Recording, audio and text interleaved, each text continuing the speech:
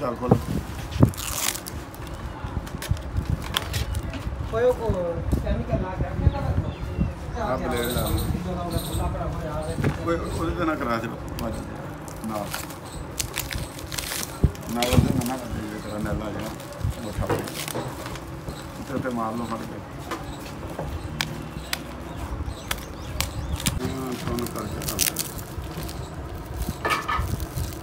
ਤੁਮ ਨੇ ਕਾ ਬਲੇਡ ਤੋਂ ਕਦੀ ਤੋਂ ਬਾਅਦ में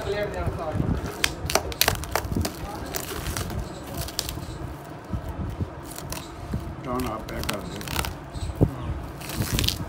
ਕਿਤੇ ਬਦਰਾ ਠੀਕ ਹੈ ਪਤਾ ਨਹੀਂ ਕੀ ਸਵੇਰ ਦੀ ਜ਼ੋਰ ਲੈਂਦੀ ਪਈ ਹੈ ਗੱਡੀ ਨੇ। ਦੇਖੋ ਜੱਕ ਲਾ ਕੇ ਕਿਹੜਾ ਵੀ ਜਾਮ ਦੂਸਰਾ ਨਾ ਉਹ ਸਸਪੈਂਸ਼ਨ ਨੂੰ ਤੁਸੀਂ ਅਗਰ ਹੱਥ ਲਾ ਦੋ ਨਾ ਕਿਤੇ ਠੀਕ ਹੈ ਬਸ ਆ ਜੀ ਠੀਕ ਹੈ ਬਸ ਹੁਣ ਹੋਣਾ ਲਾਵਾ 19 ਮਾਡਲ ਹੈ। ਅੱਜ ਤੱਕ ਕਿਸੇ ਕਾਬਲੇ ਨੂੰ ਹੱਥ ਨਹੀਂ ਲੱਗਾ ਕਿਸੇ ਦਾ। ਖਿੜਕਦੀ ਹੈ। ਖਿੜਕਦੀ ਹੈ। ਹਾਂਜੀ? ਖੜਕਦੀ ਹੈ ਗੱਡੀ? ਅਹ ਮੈਂ ਨਾ ਜੰਪਾਂ 'ਚ ਮੈਨੂੰ ਸ਼ੱਕ ਕਰਦੇ ਸ਼ਾਇਦ ਹਾਂ ਜਾਣੀ ਨਹੀਂ ਇਸ ਮਾਡਲ ਦੇ ਨਹੀਂ। ਮਾਡਲ ਵੀ ਦੇਖੋ ਹਾਂ ਹਾਂ ਇਹ ਸਾਡੀ ਸਾਡੀ ਅਸਲ ਇਹ ਖਰਾਬ ਹੈ। ਇਹ ਸੈਟ ਹੀ ਦਿੰਦੇ ਆ। ਨਹੀਂ ਉਹ ਸਾਡਾ ਸਾਰਾ ਹੀ ਸਾਰਾ ਹੀ ਸਾਡਾ ਡਾਮਨ ਇਹ ਜ਼ਰਾ ਦੇ ਬਸ ਹੋ ਗਿਆ